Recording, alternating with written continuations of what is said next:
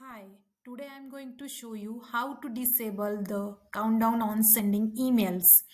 The countdown of 5 seconds to cancel the email sending was added for those who sent email by mistake. I'm going to show this by an example of candidate. I'm going to change the status, update status now I can send an email. Once I click on send email, here you can see a cancel button. If you don't want to allow customers to cancel the email, you can do that by changing the settings. Go to settings, agency settings.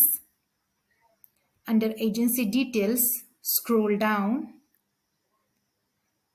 and find disable countdown on sending emails. Check this and click on update. Now, now we can check it by changing the candidate status.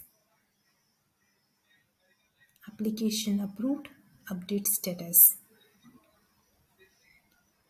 Now, once I click on send email, there is no option to cancel it.